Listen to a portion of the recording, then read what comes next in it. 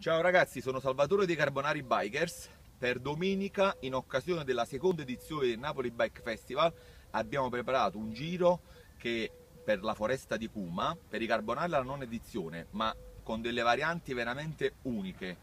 Possono partecipare anche i bambini, purché col casco, anche gli adulti col casco. Mm, massimo divertimento, proverete, proverete l'ebbrezza dello sterrato su un giro facilissimo. Vi aspettiamo numerosi, ciao!